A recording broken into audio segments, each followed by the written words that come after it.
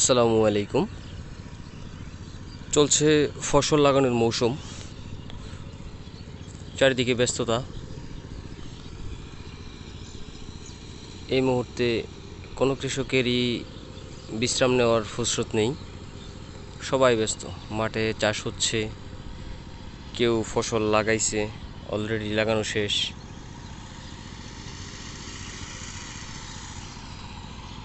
ব্যস্ততা, চারদিকে ব্যস্ততা।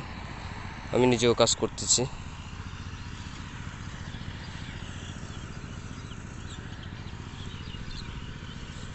প্রথমে এই চারা তুলে তারপরে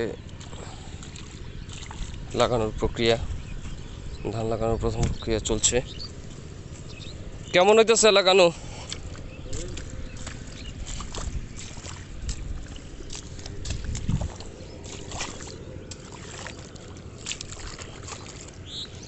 ما شاء الله.